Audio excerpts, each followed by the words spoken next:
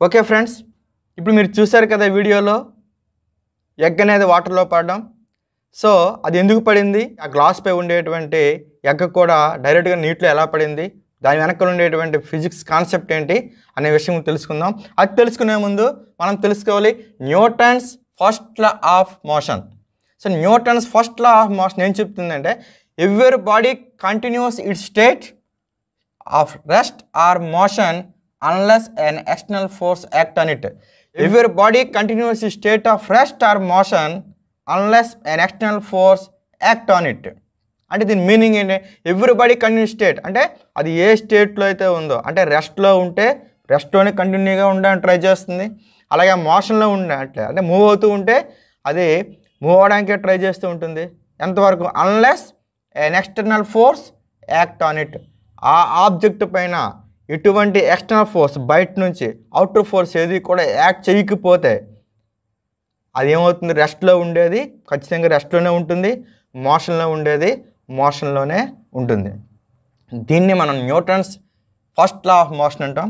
ఈ Newton first law of motion is leads to concept of inertia inertia అంటే Newton first law అని మనం property of inertia అంటాం. అంటే inertia means nothing to do అంటే inertia means nothing to do inertia means nothing to do అంటే ఏమీ చేయకపోవడం. ఏమీ చేయకపోవడం అంటే అర్థం ఏంటి? Remains unchanged remains remains unchanged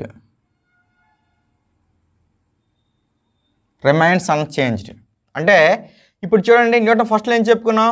Everybody continue state of rest or motion అంటే రెస్ట్లో ఉండేది రెస్ట్లో ఉండిపోతుంది. అంటే నథింగ్ టు డూ మరి ఏం చేయలేదు. అది రెస్ట్లోనే ఉంది.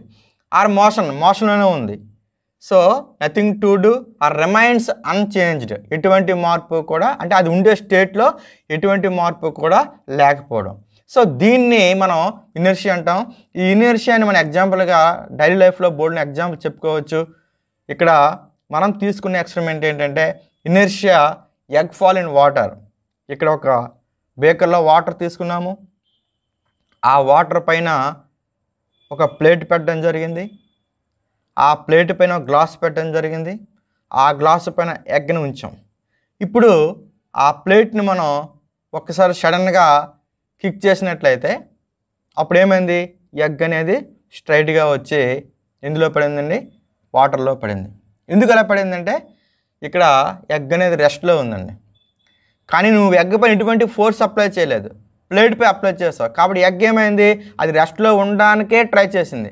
కాబట్టి కానీ ప్లేట్ నువ్వు మూవ్ చేయబట్టి ఏమైంది? గ్లాస్ కూడా ప్లేటు గ్లాస్ మూవ్ అయిపోయాయి. కానీ ఎగ్ మాత్రం కింద ఎటువంటి అది ఉండడానికి ఎటువంటి అక్కడ బేస్ లేదు కాబట్టి అది కింద పడిపోవడం జరిగింది. కిందన బేకర్లో వాటర్ ఉంచాము. వాటర్ ఎందుకు ఉంచామంటే ఎగ్ అనేది పడి పగిలిపోకుండా తిరిగి మళ్ళీ మనం దాన్ని రికవర్ చేసుకోవడానికి వాటర్ ఉంచడం జరిగింది. అదేవిధంగా వాటర్ ప్లేస్లో కాటన్ ఉంచవచ్చు లేదంటే శాండ్ కూడా మనం ఉంచవచ్చు ఈ రకంగా మన కాన్సెప్ట్ని కానీ తీసుకున్నట్లయితే ఒక బేకర్ తీసుకున్నాం. బేకర్లో వాటర్ ఫిల్ చేసాం. ఎగ్ అనేది బ్రేక్ అవ్వకుండా ఉండటానికి నెక్స్ట్ వాటర్లో పడగానే ఇసుక కాటన్ కంటే వాటర్లో పడగానే ఆ వాటర్ అప్వర్డ్ ప్రెషర్ క్రియేట్ చేస్తుంది కాబట్టి ఆ వాటర్ సౌండ్ వచ్చి వాటర్ పైకి తొలడం ఒక పిల్లలకి కొద్దిగా ఎక్సైటింగ్గా ఉంటుంది కాబట్టి వాళ్ళ వాటర్ పెట్టుకోవాలి. దానిపైన మనం ఏం చేసామంటే ఒక పాన్ ఉంచడం జరిగింది. ఈ పాన్ పైన ఒక గ్లాస్ని మనం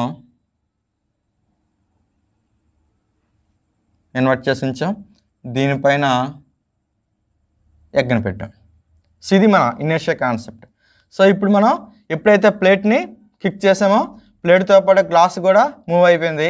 కానీ ఎగ్ మాత్రం దానికి ఎటువంటి కదలిక లేదు కాబట్టి అది కరెక్ట్గా వచ్చి ఇందులో ఎగ్ అనేది ఫాలో అయింది.